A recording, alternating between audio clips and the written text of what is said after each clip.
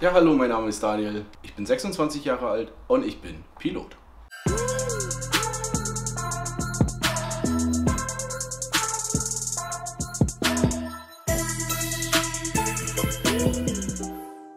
Ja, wie kommt man dazu, Pilot zu werden?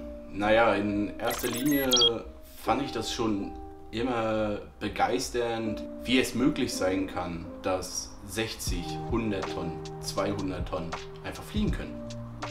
Weil wenn man Steine in die Luft wirft, dann fällt er doch auch einfach auf den Boden. Warum fliegen Flugzeuge?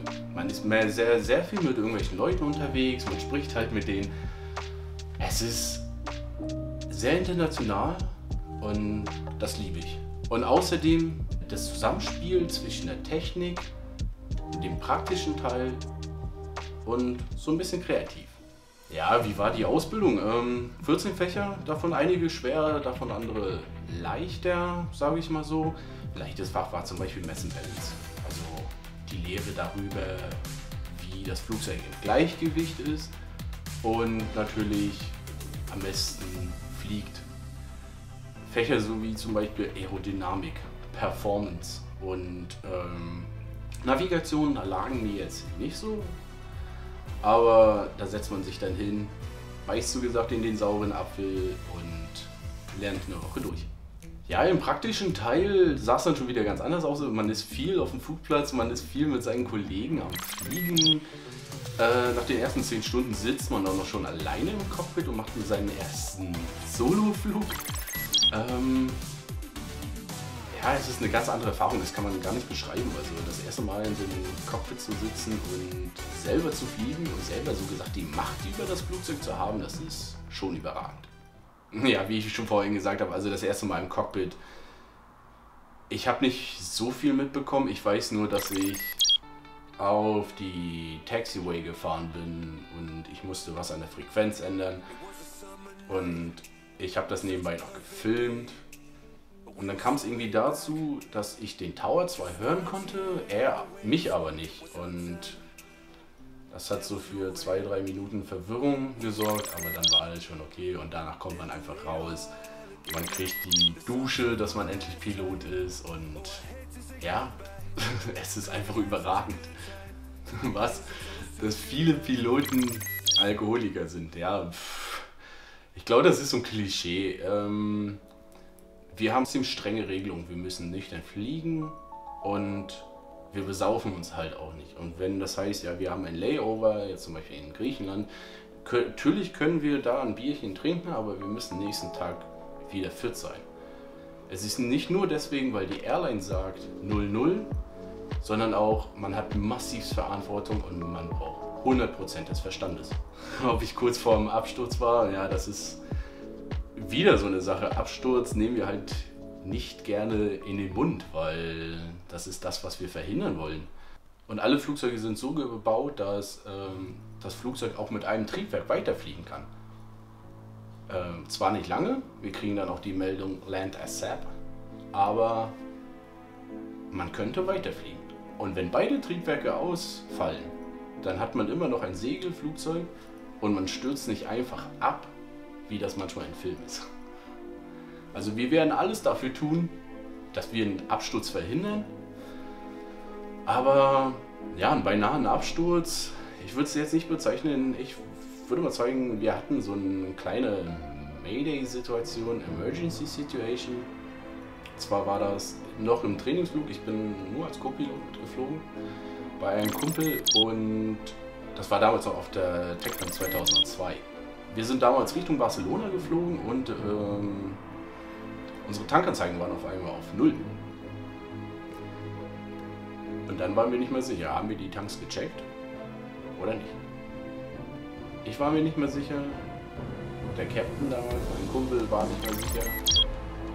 Und ja, dann war erstmal so eine Sekunde, klar, zwei unerfahrene Piloten, ja, wie viel hatten wir da? 30 Stunden ist schon schwierig, was wir dann in der Situation machen.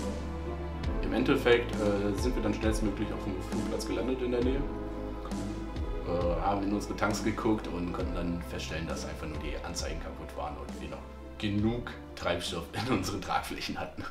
Ja, das, irgendwie wusste ich, dass diese Frage jetzt kommt. Ähm, Ja, ich würde mal sagen, also mit Stewardessen, die aktiv mit mir zusammengearbeitet haben, mit keiner.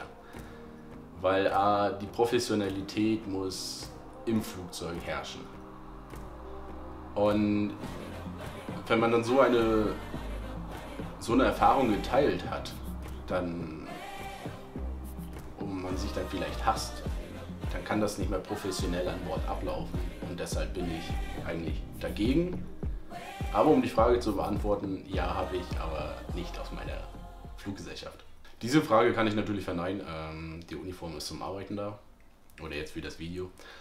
Also auch wenn ich damals vom Flug gekommen bin, bin ich kurz nach Hause mich umgezogen und bin dann erst äh, einkaufen gegangen. Klar hatte man ein paar Situationen, wo man dann nach dem Flug in Uniform nochmal kurz zu McDonalds ist.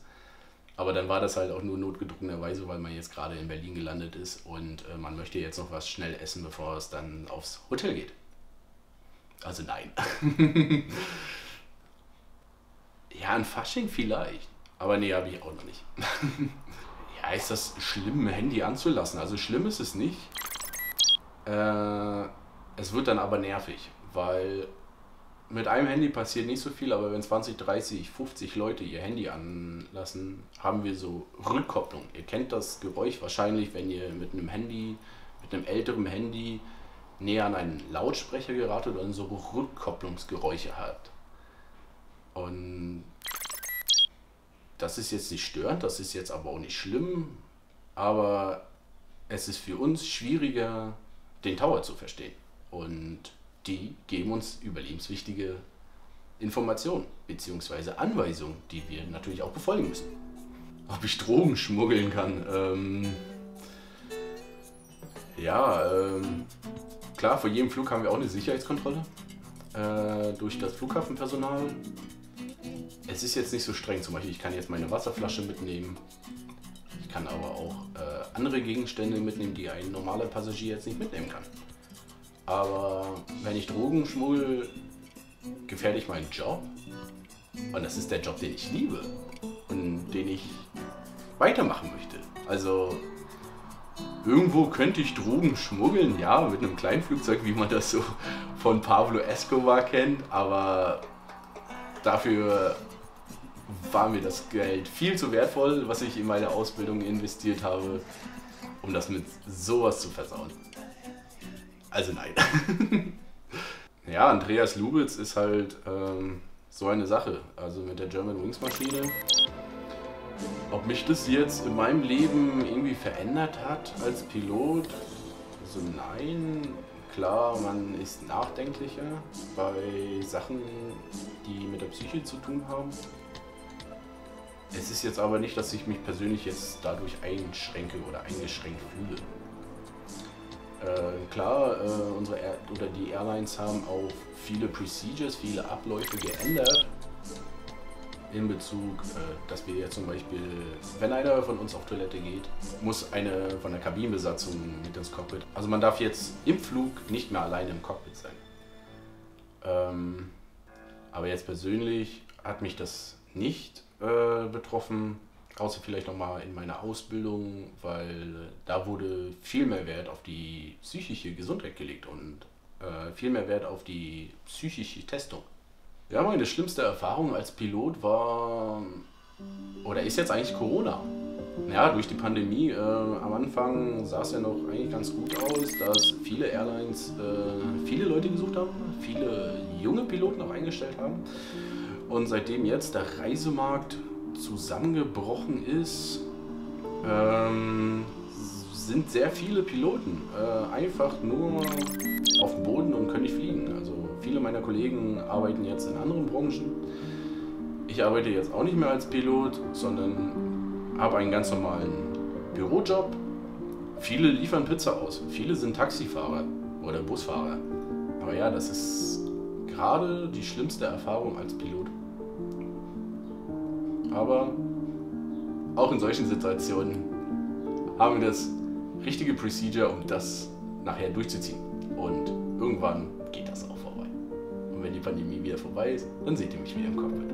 Ja, vielen Dank, dass ich hier sein durfte. Äh, danke dir. Äh, auf jeden Fall abonniert doch mal diesen Kanal, like das Video Und hier oben gibt es noch mehr von mir und weiteren Projekten von mir. Ansonsten vielen Dank fürs Zusehen und man sieht sich. Ciao, ciao.